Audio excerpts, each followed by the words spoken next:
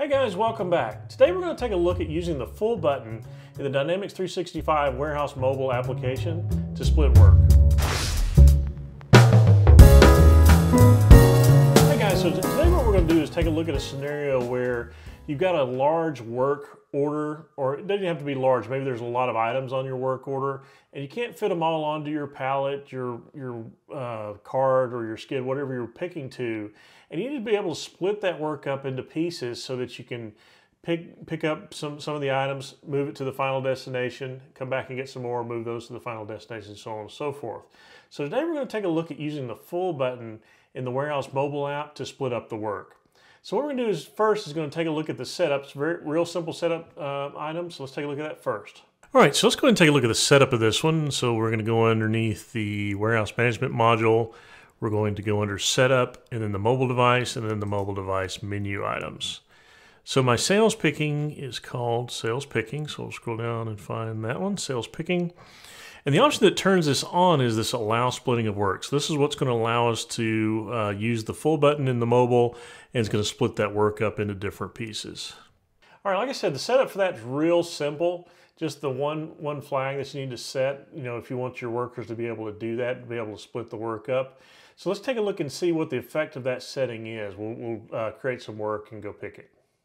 Okay, so what I've done is I've created a sales order to Forest Wholesales for our item number Z0001 for 10.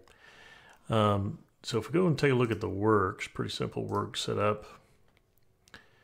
Uh, so we've got one work that was created for the item, picking it from the Z-pick location and taking it to the bay door.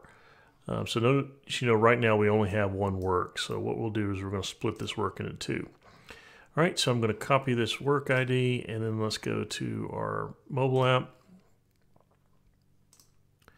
And we're going to paste in that work ID. And let me just give it an LP here, uh, license plate. I'm just going to put Scott LP 20, just so we can tell them apart.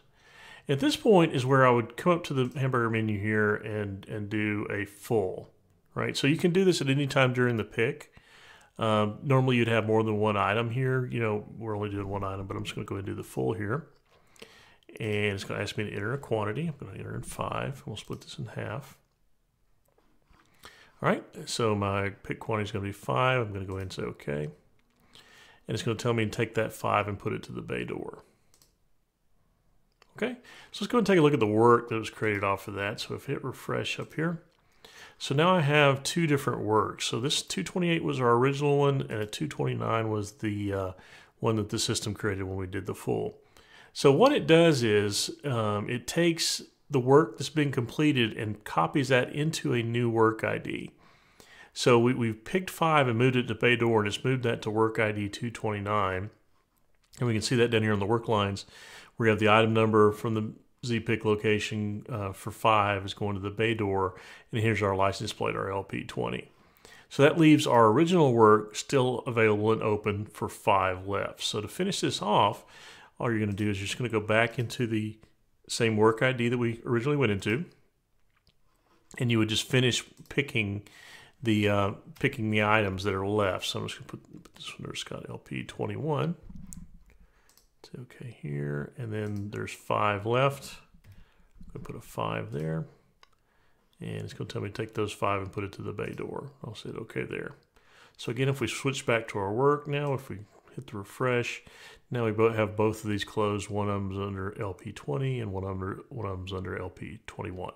Like I said in the beginning of this video, you're always going to have situations where you can't always get everything that's on your work report on your pallet or your skid or your cart, whatever you're picking to. So you need the ability to, to actually split that work up into pieces so you, to make it manageable so you can move it. So I've never really had an implementation that didn't use this. I highly recommend going ahead and turning that on and, and instructing your users how to use the full button. It's very handy. You almost have to use it. So I hope you found this video helpful. Uh, if you did, please give it a, a like or a thumbs up. And I put a new video out every Tuesday, so feel free to subscribe so you get notified when I put the next one out. Again, thanks for watching. Have a great day.